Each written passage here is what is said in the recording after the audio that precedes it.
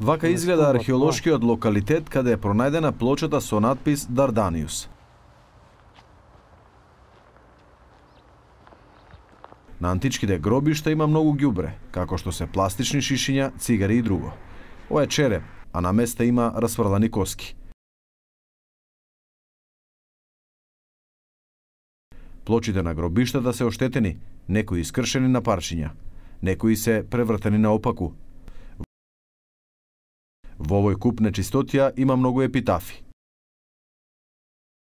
Дури самите раководители на културните институции признаваат дека во локалитетот каде што има артефакти има негрижа. Ka negligencë në punë? Ka negligencë. ka neglizhencë. A po. ka të thymë sarkofage? Ka neglizhenca është përkatës përgjithse është instituti konservatorial, qendra konservatoriale e Shkupit.